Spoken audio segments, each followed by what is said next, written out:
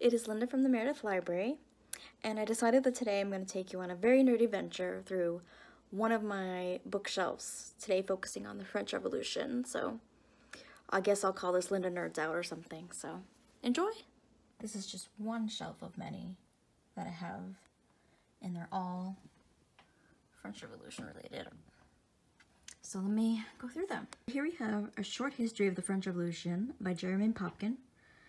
Uh, this is a great start, especially if you want to get started in the French Revolution. I'm sure there's a more recent edition of this now. Um, I read this about 10 years ago, but it's really handy and it gives you a brief overview of everything. A lot of book of selected documents that are primary documents from the French Revolution. So, so here are some of my favorites in this one.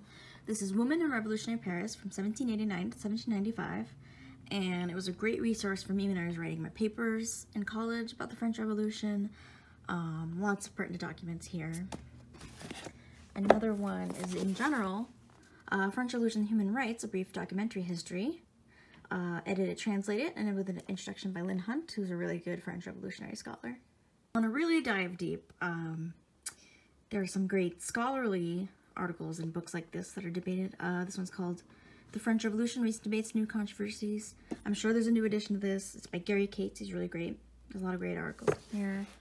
Also, another favorite of mine, Rebel Daughters, which concentrates on women in the French Revolution, which is my favorite topic.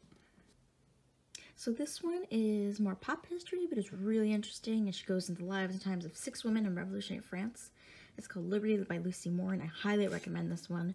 In fact, I just ordered a new edition that has a little extra stuff uh, in paperback from Innisfree, so um, be sure to utilize their website. They have a great curbside pickup. This is one of my all-time favorites. And a new book that came out, also about women in the French Revolution. This is fiction, actually, historical fiction. Um, it's a novel of the French Revolution's women. Uh, very different, there's different authors, and they concentrate on different women, including um, one that I wrote my main thesis on during college, which was Charlotte Corday. I find her fascinating. And that is my very nerdy video for today. Hope I didn't bore you to tears.